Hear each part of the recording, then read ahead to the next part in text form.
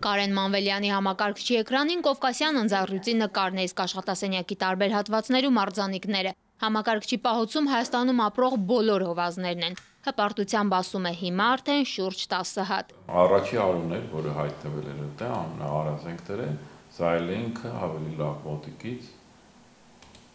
Եվ ունի 3-ը եւ ունի եկն էլ կա այո Եվան, որը հենց վերջերս մոտ 1.5-2 տարի առաջ ակուկների ունեցավ։ Ինչպես է հնարավոր նրանց տարբերակել, Կարեն Մանվելյանը բացում է գաղտնիքը։ Հովազներից ոչ մեկը աշխարհում մյուսի նախշերը չունի, դրանք հատուկ են ուսումնասիրում։ Երբ որ ստանում ենք նկարը կամերայից, հա, բերում ենք եւ հետո մեր աշխատակիցներն նստում են որոշ հատվածն են լիցնում կենթանու, որը լավ է երևում, օրինակ այս կենթանու այս հատվածը։ հատված Եվ սկսում ենք հա, համատել մյուս նկարների հետ Ժամանակին Կովկասյան ընձառյուծ տեսնելու նույնիսկ գաղափարներ միվ։ Միակ նմուշը, որ մնացել էր Կովկասյան ընձառյուծից, հիմա զգուշորեն պահպանում են բնության թանգարանում այս տեսքով։ Երկար տարիներ համարվում էր, որ հովազ հայկական բնաշխարում այլևս չկա, որովհետև քրիտիկականի էր հասել նաև այն կենթանիների թվականակը, որոնցով սնվում է հովազը՝ հայկական մուֆլոնն ու բեզոարյան այծը։ Կարեն Մանվելյանը օր ու ժամով է հիշում ինչպես սկսվեց հովազի պահպանության ծրագիրը։ Նախ ստեղծվեցին մի շարք պահպանվող տարածքներ, որտեղ հիմա կրկնապատկվել են հայկական մուֆլոնը, բեզոարյան այծն ու գոր շարչը։ Հակառակ դեպքում հովազի գոյության մասին խոսել անհնար կլիներ։ Դեռ 2002 թվականին նոր երբ որ սկսում ենք ծրագիրը, մարդիկային նույնիսկ չէին հավատում, որ Հայաստանում ընձառյուծ մենք ունենք մեկ-մեկ հանդիպում էինք իրենց հետքերը եւ 2005 թվականին մեծ հաջողվեց նկարել նաեւ առաջի անգամ Հայաստանում ընձայրուցին, բայց դա առանձին առանձնյակներ էին, հիմնական արուններ կամ տարիքով կամ երիտասարդ, որոնք հեռանում էին իրենց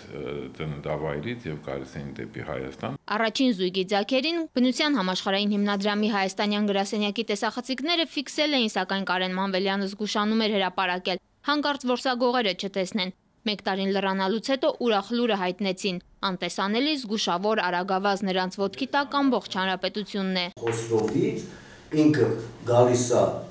Վայոց ձորի, Զանգեզուրի լեռնաշղթայով, գալիս է Բարգուշատի լեռնաշղթա, Մեղրի լեռնաշղթա։ Իրենք տարվա ընթացքում տեղաշարժվում են անընդհատ։ Ինքը կարա օրական, ասենք թե մոտ 30 կիլոմետր քայլի։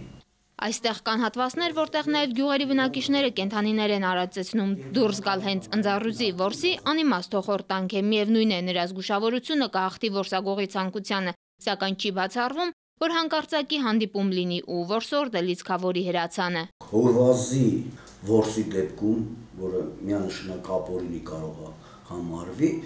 3 միլիոն է տուգանքը Իսկ եթե դա առավել եւս կատարվել է պահպանվող տարածքում, ուրեմն կիրառվում է հնգապատկի չափով, այսինքն 15 միլիոն դրամի չափով։